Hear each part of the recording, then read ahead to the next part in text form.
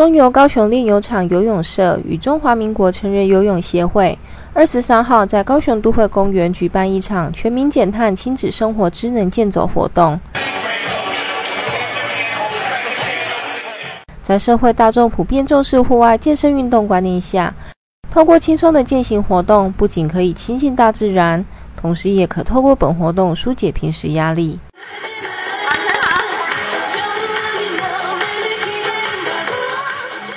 在社会大众普遍重视户外健身运动观念下，让这项相当有意义的活动吸引近千人扶老携幼参与。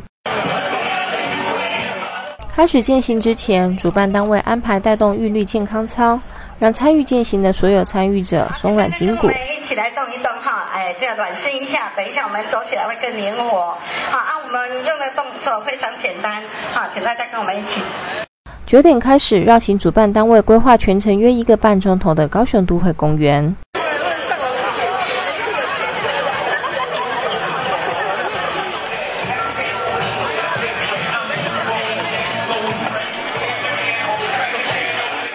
中华民国成人游泳协会南区会长刘美华说：“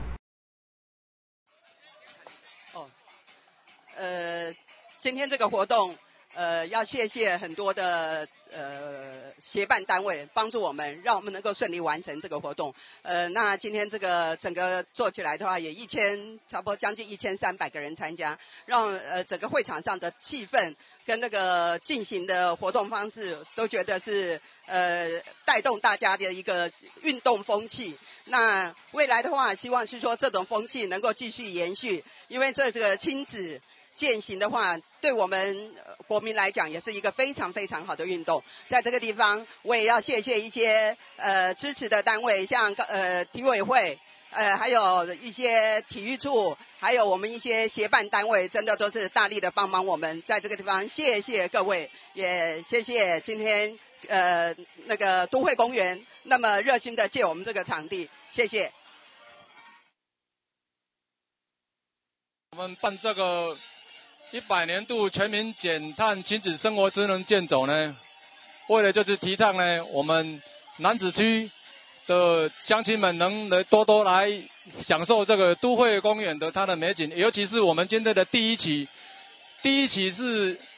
二点一公里，第二期有二点七公里。今天我们的规划行程有跑到第二期的一个公园，也就是说，我们新的第二期的都会公园，它的那个美景。要让我们一些新的朋友能多多去了解我们第二期的一些的那个场景。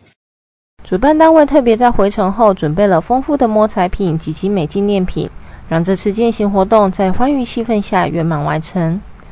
UNTV 记者高雄报道。